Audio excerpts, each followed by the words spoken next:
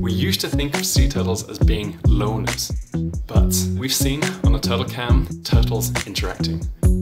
My name is Nathan Robinson.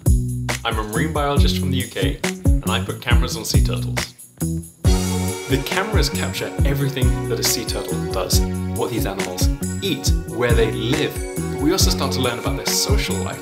They interact with other marine species as well. Turtles have a huge amount of personality.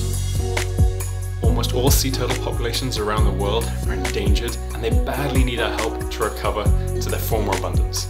I hope when people see the footage I've created, they see the ocean as something worth saving.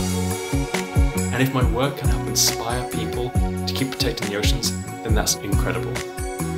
I think people are only going to protect what they love, and they're only going to love what they know.